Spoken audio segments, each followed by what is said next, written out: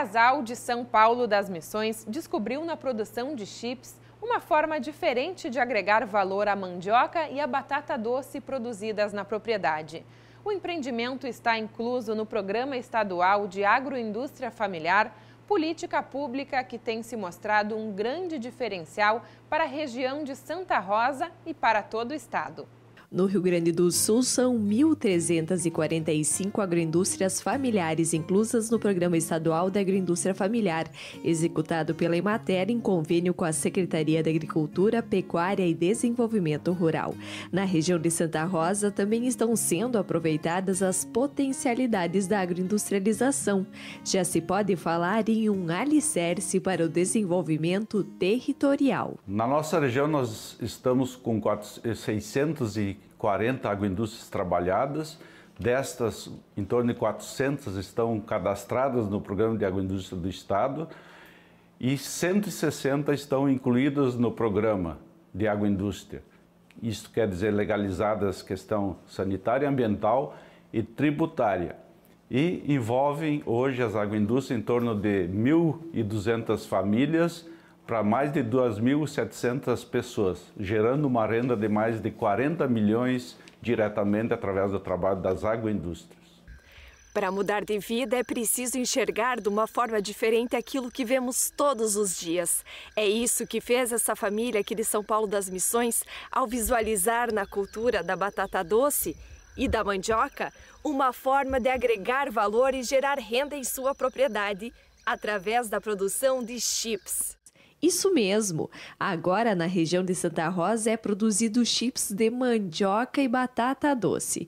Já está em fase de experimentação também os chips de banana. No início foi uma forma encontrada pela Cristiana e pelo Irineu de atender a uma necessidade de produção para consumo da família. Depois consolidou-se a oportunidade de geração de renda. No momento que nosso filho nasceu, ah, quando ele estava na idade de dois anos, então ele já queria as coisas, já ia ao mercado, já pedia isso, já pedia aquilo, e a gente sentiu a necessidade de fazer algo diferente e saudável. Então foi aí que vem a grande ideia que através da minha esposa que já havia começado há um tempo a fazer esse, os chips. Uh, no começo foi os chips de banana e depois veio os chips de mandioca e batata doce. Na época que eu fazia faculdade de administração, eu fiz um curso e lá eu comecei com chips de banana, que era na minha região onde que a banana era em abundância, é Itati. E aí lá eu comecei a produzir os chips de banana e vender.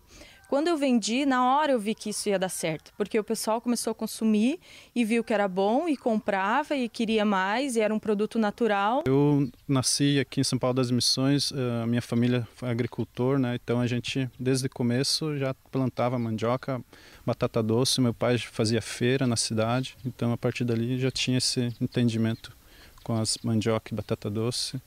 Aqui na região de São Paulo das Missões é uma região que produz muito mandioca e batata doce. E nessa região é em abundância, né? E a gente via, né? O meu sogro sempre vendia, né? Também muito, né? E plantava muito aqui.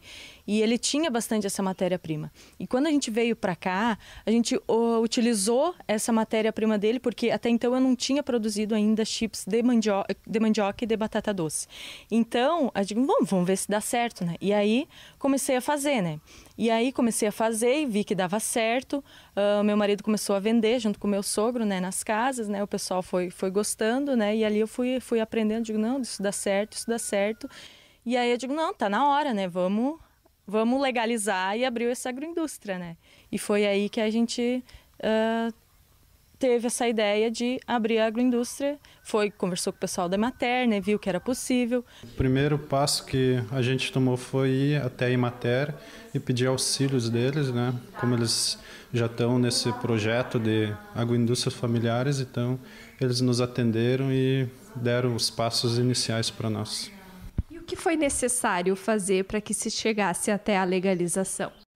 Primeiro, ver os produtos que nós iria produzir. Uh, da, uh, começo na papelada da agroindústria, da construção, né? Uh, ver o, a planta, esse processo e o cadastramento daí, né?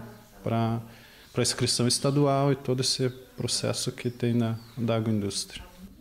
Manuela, quem decide implantar uma agroindústria? É difícil conseguir a questão da legalização? O que é necessário? Não, não é difícil, Daisy. Uh, atualmente existe o Programa Estadual de Agroindústria Familiar, que é do governo do estado, e ele é desenvolvido nos municípios pelo escritório da Emater. Através desse programa, né, a gente encaminha, auxilia o agricultor na legalização tributária, sanitária e ambiental, né, que é o que ele necessita para legalizar a sua agroindústria. Com a legalização da agroindústria e estruturação da logística desde 2019, os chips produzidos no povoado IP chegam a diferentes pontos da região.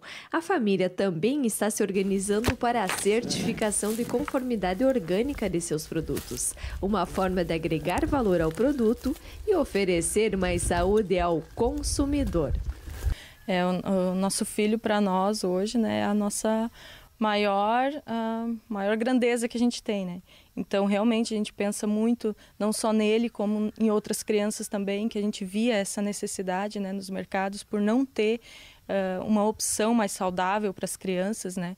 E através dos chips, né? E que a gente sabe que as crianças adoram, os adultos gostam também, né? Mas é nas crianças que mais impacta, né? Os chips sem esses salgadinhos que, que tem nos mercados, né? Com tantos conservantes, todo, tudo cheio de ante, né? Que não faz muito bem. Então a gente pensou não, então vamos agregar isso, né? Para as outras crianças também, né?